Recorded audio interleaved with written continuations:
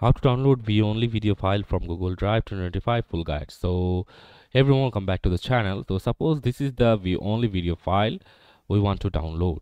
So after opening the video you just have to simply click on Ctrl shift and i to open the developer tool. And then you just have to simply click on the network option from here and make sure to uh, check the quality to the fullest 1080p and then as you can see uh, on the network sector if we just uh, play the video for some time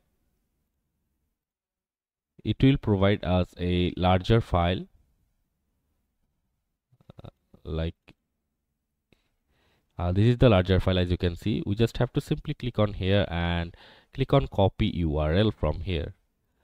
And then we just have to simply open a new tab and paste the link here and you have to make sure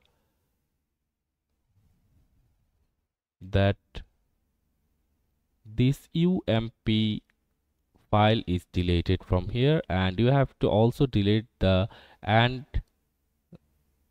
then range file and you have to stop before the rbuf file and you just have to simply uh, remove that and click on enter and as you can see uh, it's played on a external web link. And you just have you just can simply click on download and it will start download from here and the highest quality possible.